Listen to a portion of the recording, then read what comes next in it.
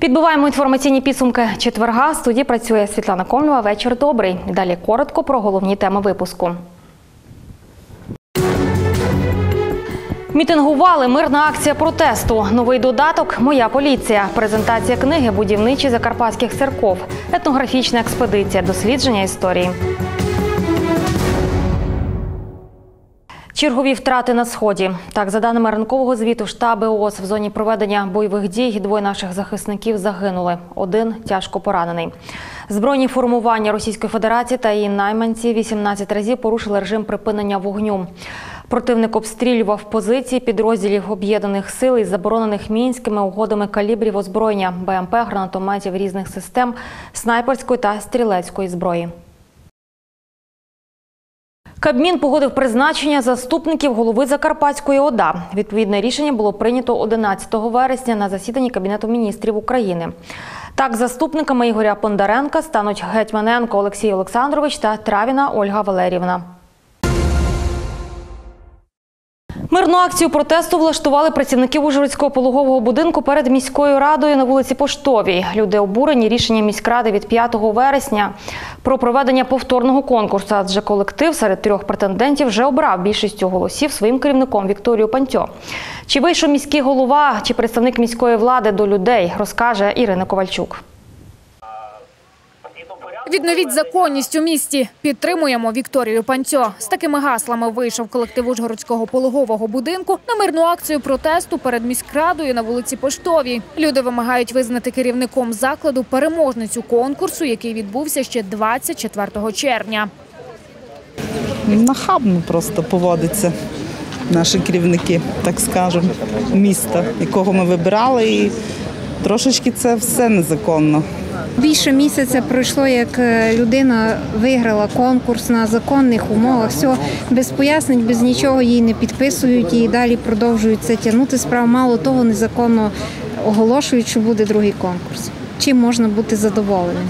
Я обыкновенный житель Ужгорода, который поддерживает эту акцію. У мене внук народився в цьому пологовому, задякуючи колективу.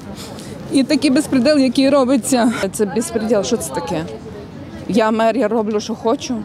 Колектив комунального некомерційного підприємства Ужгородський міський пологовий будинок, а це понад 350 чоловік, обурений рішенням міської ради від 5 вересня 2019 року про проведення повторного конкурсу. невідмінений конкурс на голову ЦМКЛ, так, городської лікарні, не відмінений конкурс на директора дитячої, не відмінений на поліклініку, хоча там були питання до призначення також.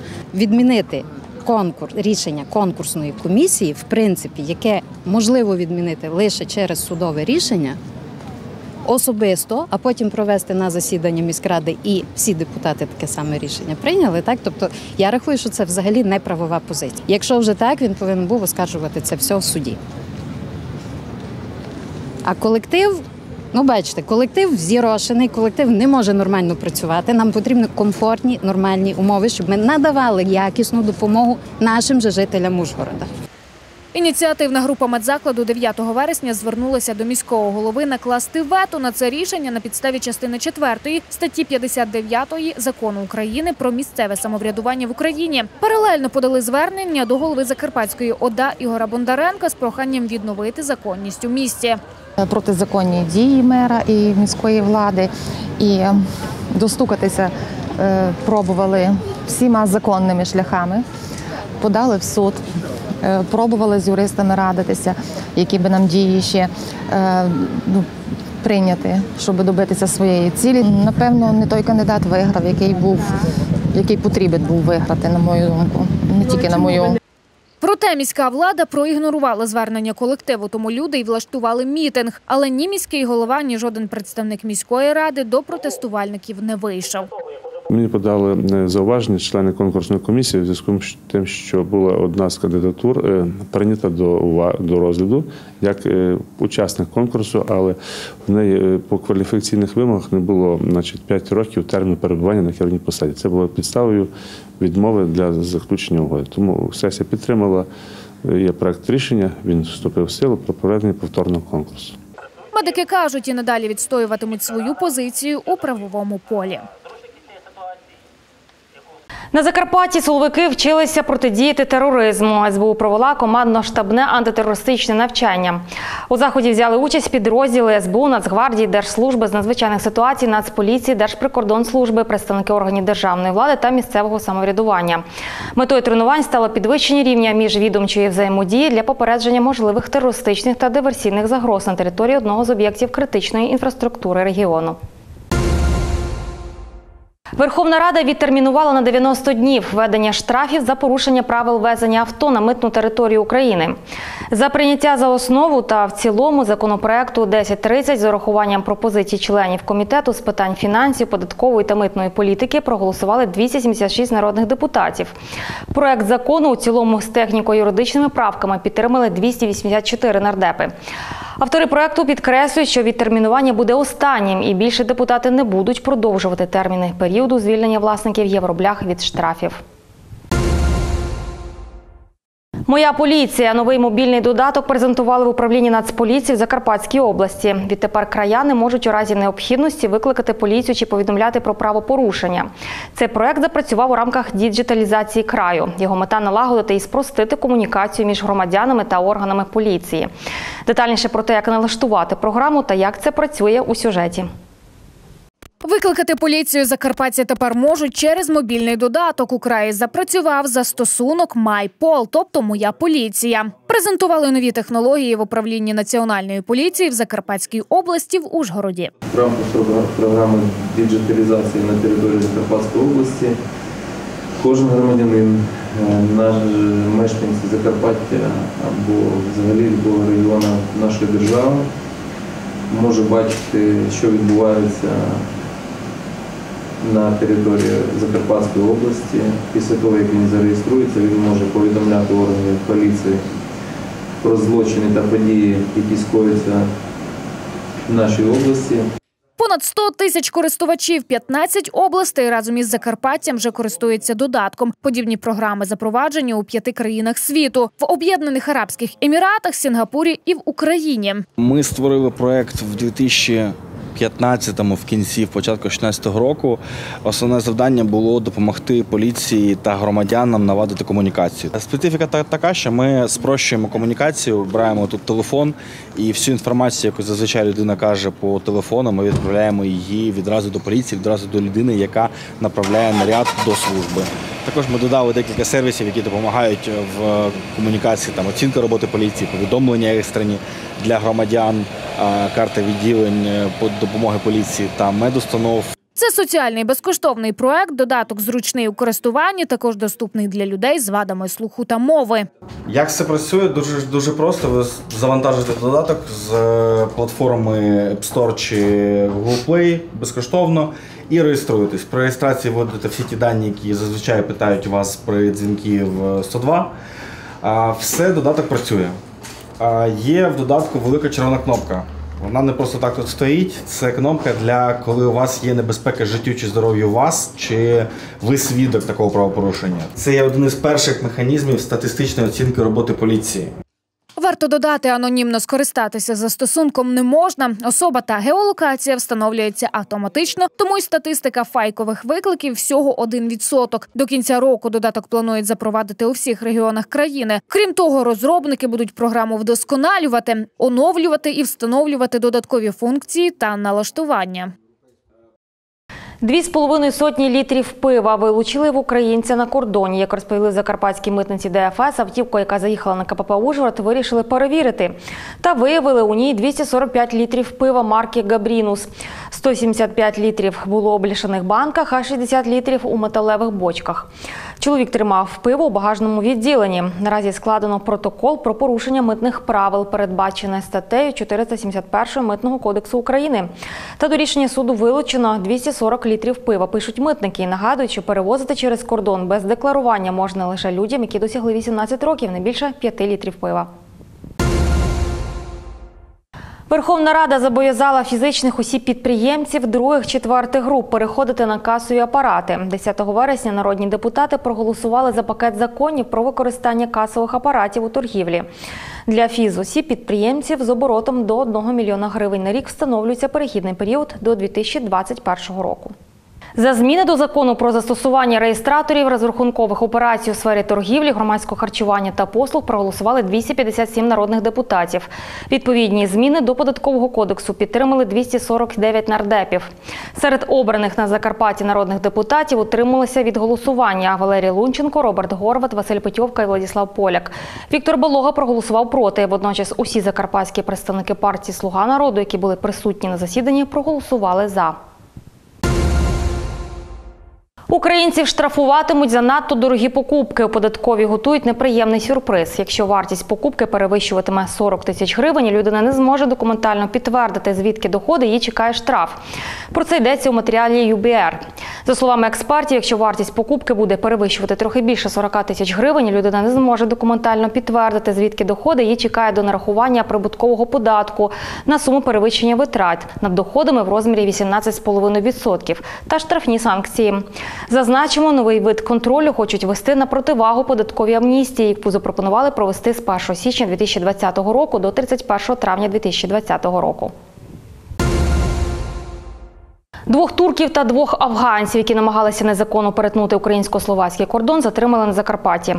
Перевіряючи ділянку, прикордонний патруль відділу Ужгород виявив сліди людини, що вели в бік Словаччини. На допомогу наряду вислали групу реагування зі службовим собакою. Пошуки тривали півтори години, і врешті прикордонникам вдалося виявити чотирьох чоловіків, які причаїлися у чаградниках за 20 метрів до кордону. Затримані не мали при собі жодних документів. Вони назвалися громадянами Туреччини та Афганістану та визнали, що мали намір дістатися країн Євросоюзу у пошуках кращих умов життя. Нелегалів доставили до прикордонного підрозділу для з'ясування обставин правопорушення та складання процесуальних документів. Словаки затримали на КПП Вишні Нємецьке українці, якого шукав Інтерпол. Поліція встановила, що на чоловіка виписаний ордер на затримання в Румунії. Прикордонники проконсультувалися обласною прокуратурою в Кошице, а після українця супроводжували до слідчого ізолятора Кошицького обласного управління поліції. Операцію маячок провели на Закарпатті. Кортеж з пожежних машин, позаду яких поліцейські та автівка Служби безпеки дорожнього руху курсував вулицями Ужгорода та Мукачева та трасою Київ-Чоп на відрізку між цими містами. Спільне відпрацювання ДСНС та патрульної поліції організували у рамках місячника безпеки дорожнього руху, аби підвищити свідомість громадян та пришвидшити роботу рятувальників. Як реагували водії та чи були порушення правил дорожнього руху під час операції? Дивіться далі.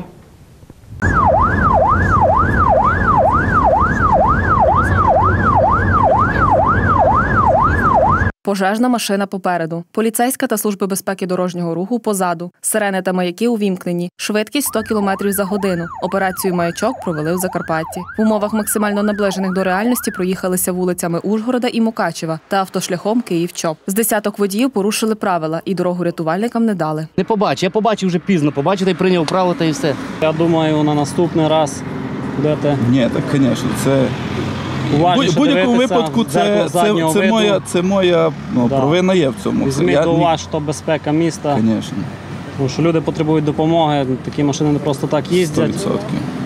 Десь може щось згоріти, когось потрібно Я- рятувати. Був може трохи неуважний, я вибачив.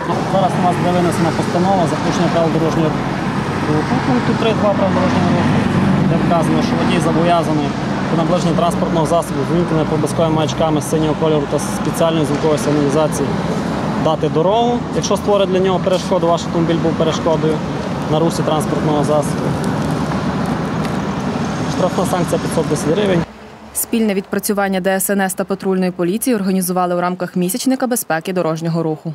Спостерігається високе дотримання правил дорожнього руху водіями в місті. Водії вчасно реагують, надають перевагу в русі, приймають вправо, виконують, дотримуються правил дорожнього руху.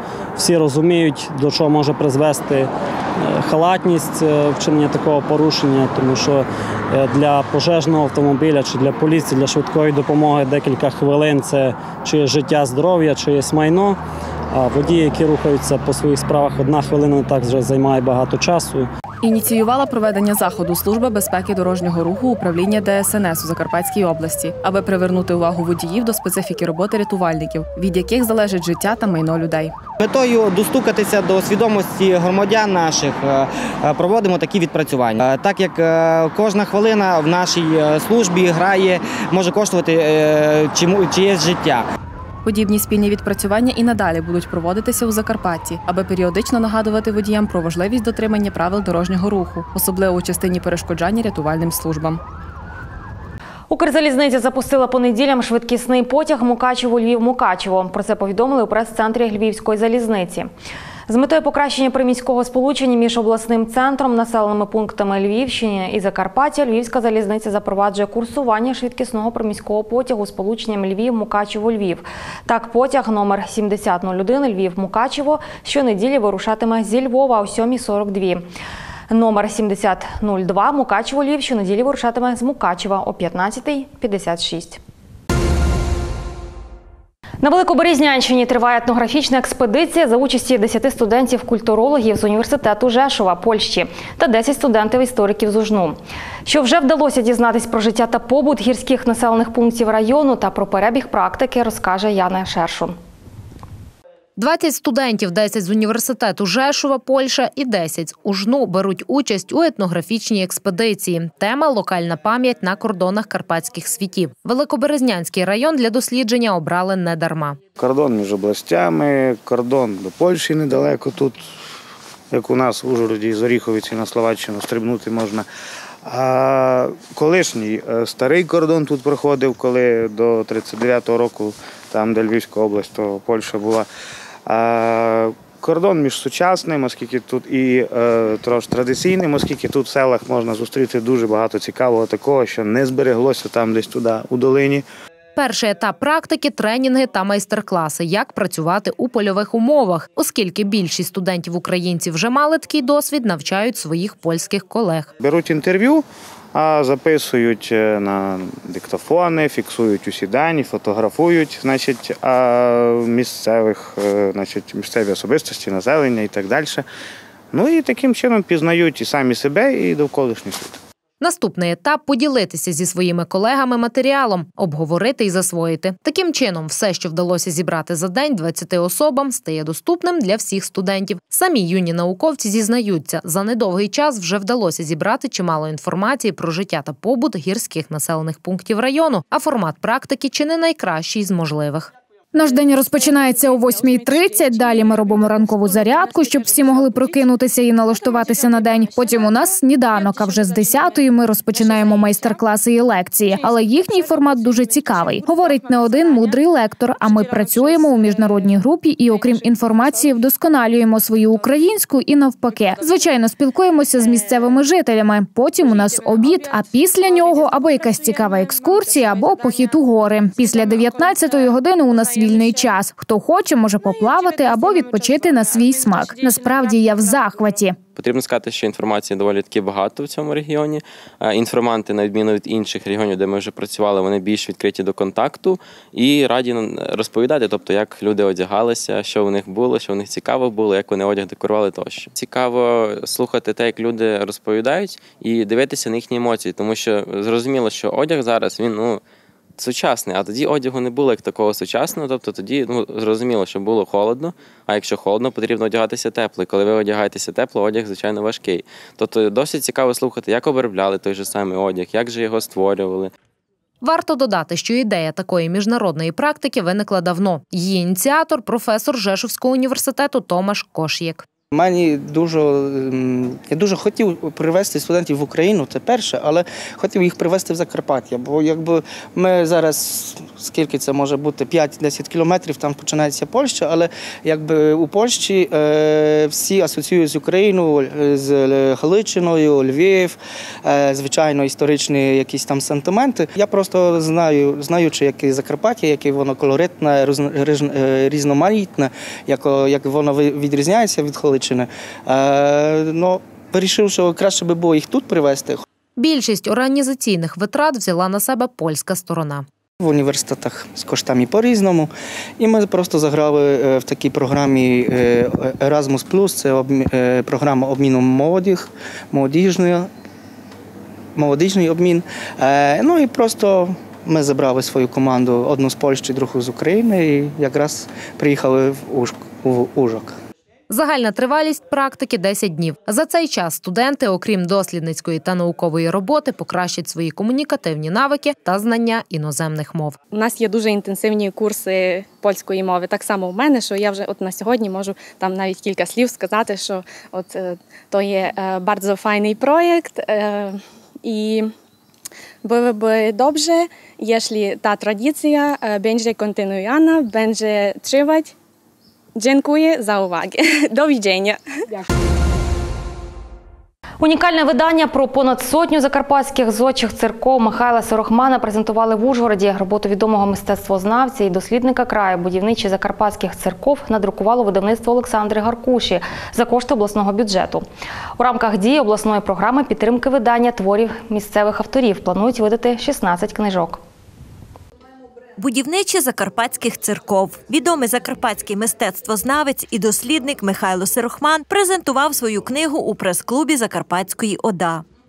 30-х, навіть 40-х років церкви збудовані останні, остання хвиля дерев'яного будівництва абсолютно у традиції. Ну це дивовижно.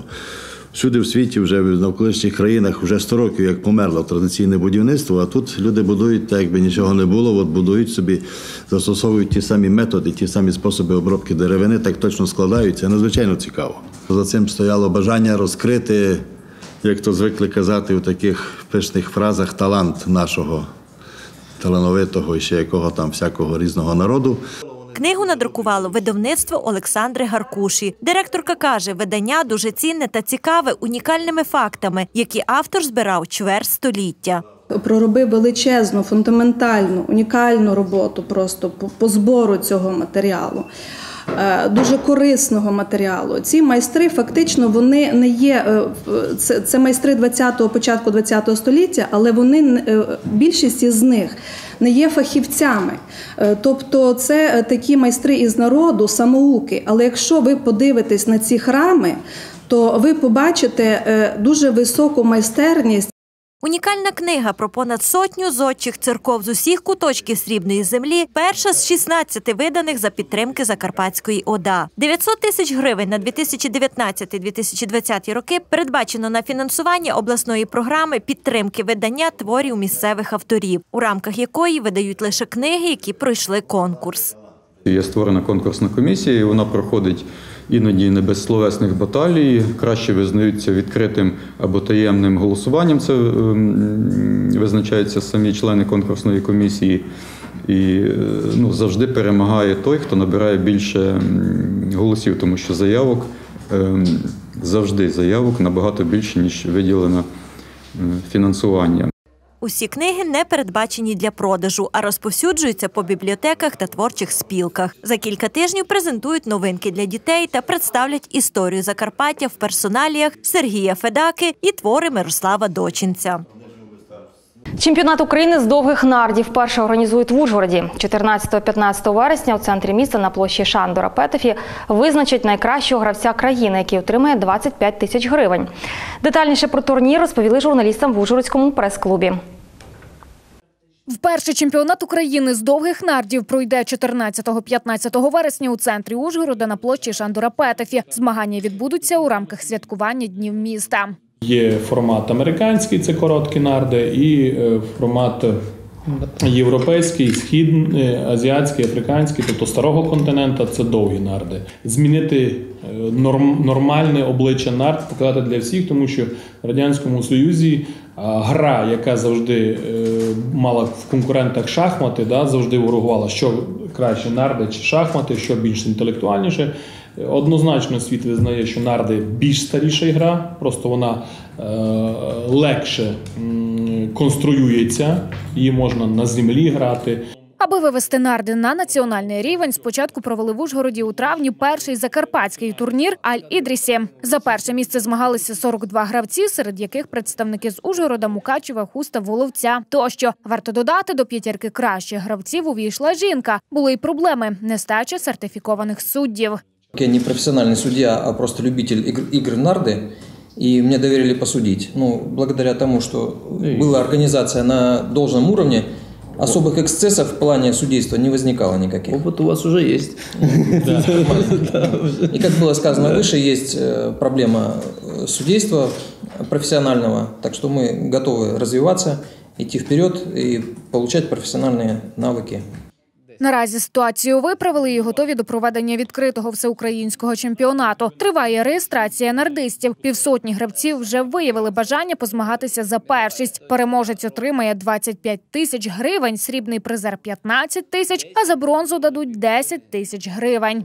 Київ, е, Одеса, Рівне, Полтава. е, З різних міст України люди, які е, так само будуть змагатися у- нас в Ужгороді. І є нагода, е, щоб вони побачили е, наше місце, побачили нашу гостеприємність і побачили, що е, це все робиться не тільки заради Ужгорода, а за, заради України, щоб ми мали змогу змагатися в європейських кубках, світових кубках, не як особистість, а як, як країна. 14 вересня відбудуться відбіркові ігри, а 15-го – фінальні. Організатори чемпіонату Всеукраїнська федерація НАРТ та Федерація НАРТ Закарпаття. Змагання пройдуть за підтримки готельно-ресторанного комплексу Кілікія, Союзу вірмен України та Товариство вірманської культури Закарпаття Арарат. У планах міжнародний турнір. Це було останнє повідомлення випуску. І вже завтра в інформаційній програмі Час ви побачите. Спортивні змагання хто швидший та спритніший. Принади Закарпаття унікальні місця краю. На цьому наш випуск завершений. Дякую за увагу та за довіру. В студії працювала Світлана Комлєва. Побачимось незабаром.